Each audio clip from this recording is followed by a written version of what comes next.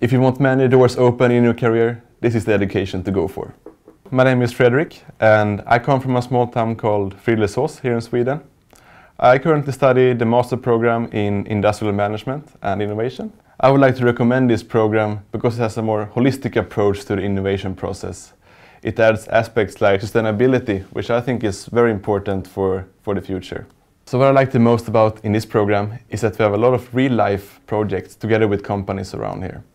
And that is very rewarding for you as a student. You do something that you think that can really be used in real life and also for the companies that get very good insights from us students. I chose this program uh, because I wanted to have the business side in addition to the engineering bachelor's degree that I have. So I think that these two sides really uh, complement each other in a good way. What I want to work with uh, is a really hard question because there are so many doors open uh, because of this program and the possibilities. Uh, but as of right now, I really got into business development and innovation projects. So I guess some managerial role uh, in the business development would be very fitting for me.